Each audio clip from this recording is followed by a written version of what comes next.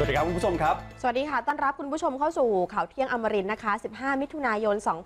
2562 อยู่กับคุณเอกลักษณ์ดิฉันอาริรัตน์พร้อมล่ามภาษามือวันนี้คุณมัทนาค่ะ ก็ทักทายคุณผู้ชมนะฮะที่กรมการปกครองกับปปสเนี่ยเขาจะเสนอเรื่องไปยังผู้ราชการจังหวัดต่อไปนะคะ เพื่อให้สั่งปิดผับนี้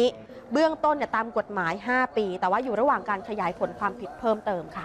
อะก็ฝาก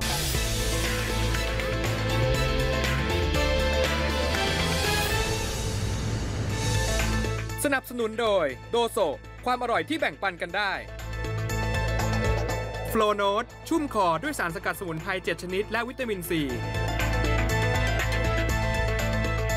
มีเหตุการณ์สามีภรรยาถูกลอบยิงเสียชีวิตในขณะที่ขี่รถจักรยานยนต์ในพื้นที่อำเภอระแงะจังหวัดนราธิวาสนะคะ พอไปตรวจสอบเหตุการณ์แล้ว รถจักรยานยนต์นั้นถูกขโมยไปด้วย ซึ่งคาดว่าผู้ก่อความไม่สงบนั้นน่าจะขโมยรถคันนี้ เพื่อหวังจะเอาไปทำคาร์บอมก่อเหตุความไม่สงบในครั้งต่อไป